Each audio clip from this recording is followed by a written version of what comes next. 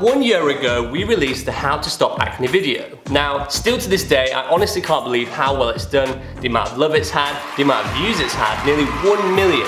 Thank you. Now, by far one of the most common comments on that video was about pores, and more specifically, how to shrink them. So, we decided, let's do a full video on this topic. Let's begin.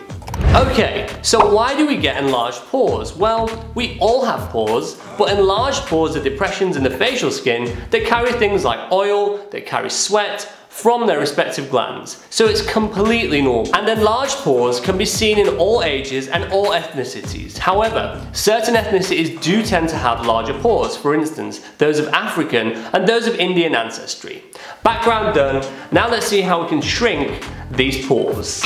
So tip number one, as we age, our skin becomes less elastic. And that's the normal process of aging, and there's not actually much we can do about that. But sun damage can also cause aging of the skin, and it can lead to enlarged pores. Now, if you live in the UK or you live in a country with a similar climate, you probably only see the sun once or twice a year. The rest of the year it's always cloudy. And I said that with such a serious face, but in reality we do see the sun, but it is cloudy a lot of the time. Um, and you might think to yourself, well, it's always cloudy. I don't even see the sun, I'm not gonna get sun damage. But that's where you're wrong, because these UV rays can still penetrate and it can still damage the skin. So if you haven't figured it out yet, tip one is all about using a good sunscreen every single day that protects you against both UVA and UVB radiation. Now if you're thinking to yourself, but Abraham, which sunscreen do I buy? Just tell me.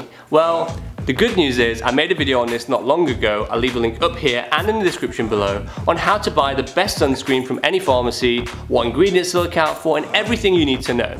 So if you feel like you need more information on this topic, feel free to watch it at the end of this video. Which leads me on to tip number two. Have you ever heard of sebum?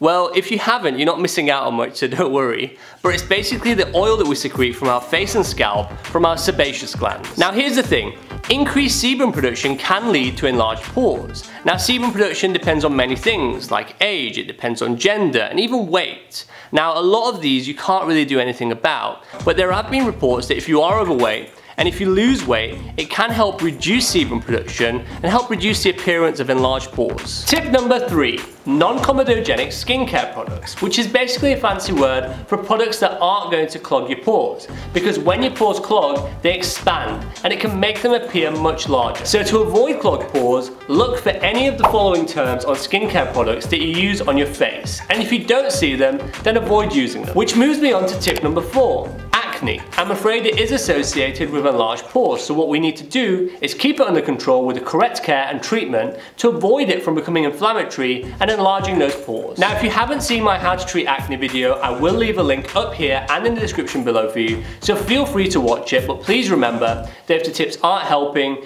your acne is getting worse and you are under distress, then please always speak to your doctor. Tip number five, don't leave it. Remember, as we age, generally speaking, pores are gonna get bigger. So if you're seeing no improvements and it's not getting any better, then always speak to your doctor first, make them aware of this, they may prescribe you some treatments because there are treatments available that can help. Some of them can even reduce sebum production that we spoke about earlier. I really hope my tips help you in this week's video, and if you have any of your own tips, then please share it with us, leave a comment below, I'd love to read it, and I'm sure everyone watching this video would love to read it as well. Always remember, you're awesome, and I'll see you next week. Products that won't clog your pores. Because when you clogs, when your clogs pore. So tip number one.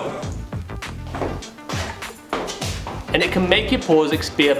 Hey guys, thanks for watching this week's video. Make sure to click that like, follow or subscribe button now to stay up to date with new weekly videos.